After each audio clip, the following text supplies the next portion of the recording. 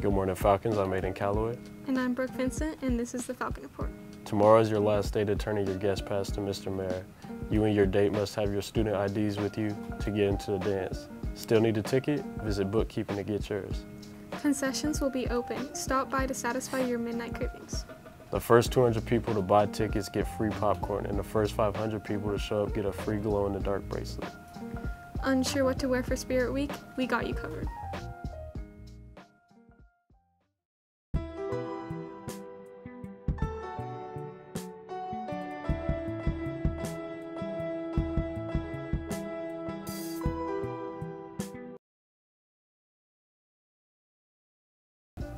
There will be no GSA club meeting today. Today is National School Resource Officer Appreciation Day. We want to say thank you to our SRO and our three school security staff for helping to make our campus a safe environment. Thank you, Officer Field, Coach Powers, Coach Miracle, and Coach Gonzalez for all you do.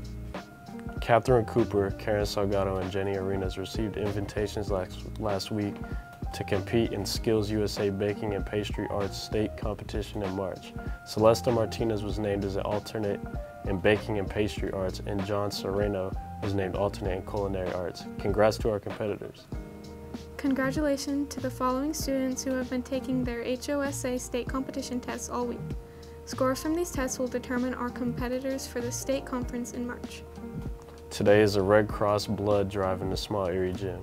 If you are a donor, you will receive a call slip during either first or third your appointment time. Please come 10 minutes before your appointment. If you are on the wait list and someone does not keep their appointment, you may receive a call to come down.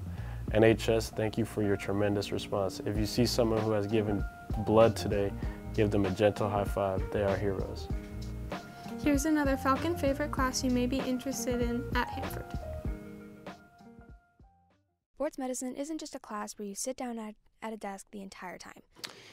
In sports medicine, uh, kids learn about the body, uh, movements, exercises.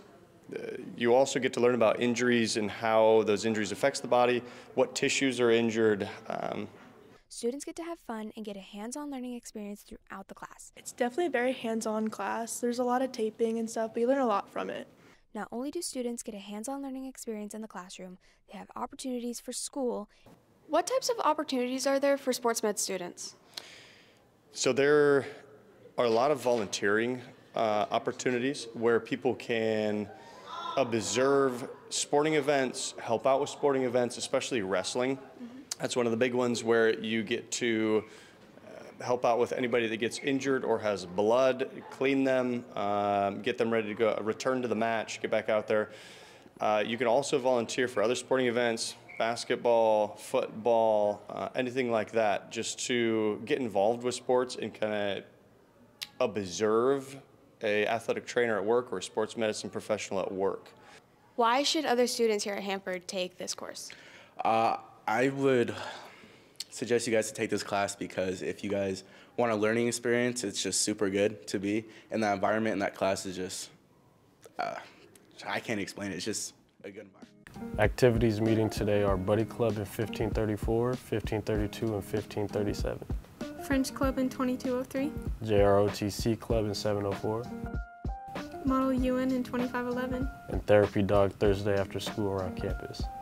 Activities meeting Friday are Chemistry Club in 2606. Gamers Club in 1606. Podcast and Video Production Club in 1332. FCA in 1607 for lunch and 26, 2604 for second lunch. And Recycling Club in 1007. That's all for today. I'm Aodhan Callaway. And I'm Brooke Vincent, and this has been the Falcon Report. Please stand for the pledge.